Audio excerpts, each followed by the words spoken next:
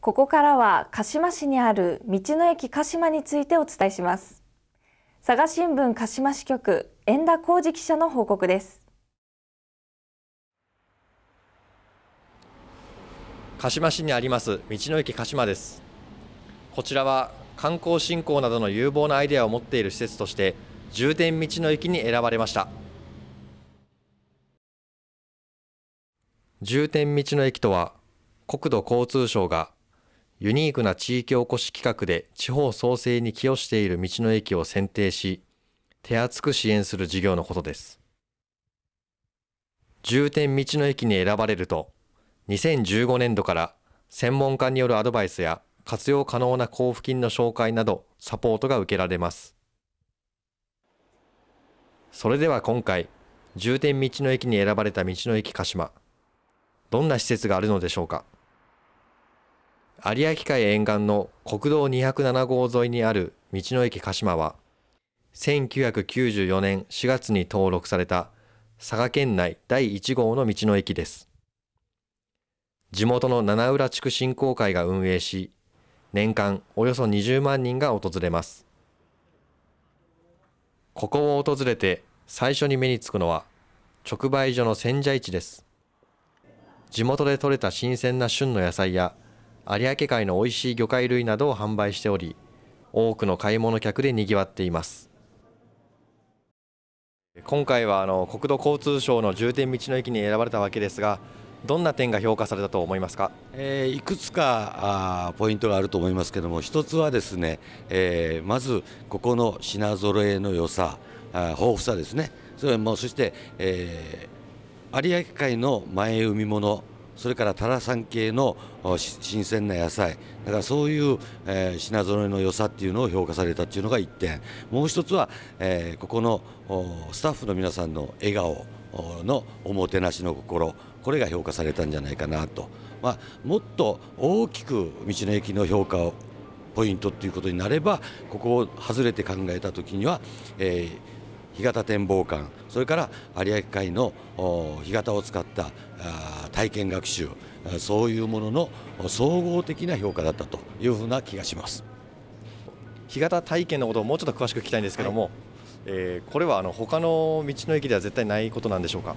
全国の道の駅探していただいても干潟体験をやっている道の駅はありません、えー、特に、えー、4月から10月この半年間にかけては、えー、修学旅行の生徒さんが約1万2 3 0 0 0名。それ以外に一般のお客様が2 3 0 0 0名という形でお見えいただきますので、えー、これはもう特筆すべきことじゃないかなというふうに思っております。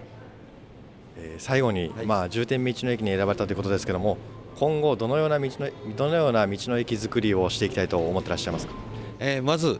もうここに、えー、道の駅があるっていうあの前提じゃなくて逆に、えー、鹿島市民の皆さん佐賀県民の皆さんそして全国の皆さんからあ道の駅は鹿島にあるんだということをですね、えー、存在感をですねさらに高めていくために、えー、日々進化する道の駅、えー、進む分けるだけじゃなくて深く分ける道の駅を目指して、えー、スタッフ全員で一生懸命頑張っていこうというふうに思っております。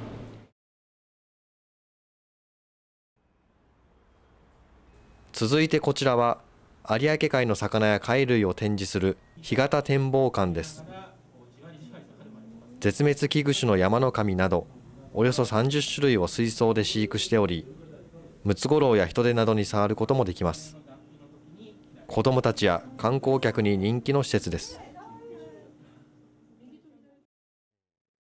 こういうふうに、えー、有明海の沿岸でのビジターセンターっていうのは、はい、えー、珍しいんでしょうか？あそうですね、今のところですねあの、まあ、福岡、佐賀、長崎、熊本、有明沿岸の4県の中でですね、えー、こういうふうにやっているのはうちだけなんですね、実はですね。まあ、あのビジターセンター環境省のビジターセンターというイメージがあるんですけど環境省ではなく鹿島市独自でやっている。でしかもそれが有明海沿岸ではもう本当にうちだけっていうですね。ちょっとこう珍しいパターンにはなりますね。はい。あの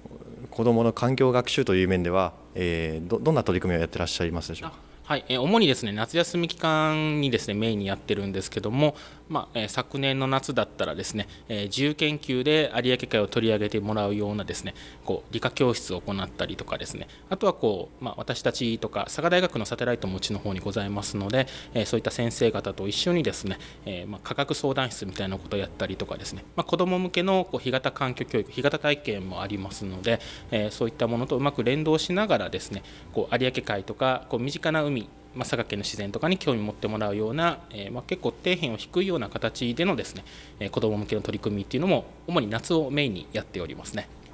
はい、さらに有明海に隣接する道の駅鹿島は1985年から続く鹿島ガタリンピックの会場としても知られ春から秋にかけて干潟体験もできます。鹿島市は日本三大稲荷の一つ有徳稲荷神社や日本酒のイベントで盛り上がる酒蔵通りなど豊富な観光資源に恵まれています。道の駅鹿島がこうしたまちづくりの一つの拠点としてさらに鹿島の魅力を高めることを期待しています。